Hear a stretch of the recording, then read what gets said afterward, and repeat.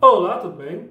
Basicamente, um filme estreou em 1985, é um filme Código de Silêncio, um filme estrelado por Chuck Norris, um filme que tem suspense e ação, filme americano que estreou em 1985.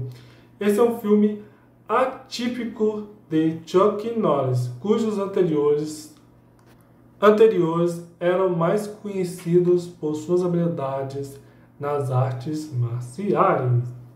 Corpo de Silêncio, o filme teve um orçamento de 7 milhões para ser feito e o filme arrecadou nas bilheterias no cinema 20 milhões.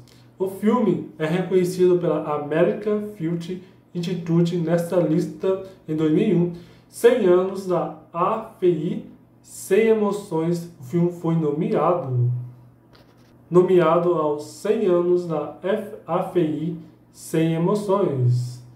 O sargento da polícia Ed Kuzaski realiza uma operação anti-drogas, mas outra gangue chega antes e liquida os concorrentes e some com a fortuna em cocaína, gerando uma guerra aberta entre dois grupos rivais e com a polícia no meio.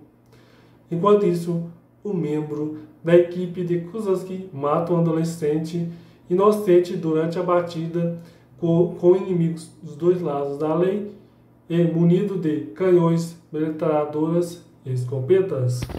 Costa de Silêncio é um filme que estreou em 1985, um filme de ação com suspense, um filme americano estrelado pelo Chuck Norris.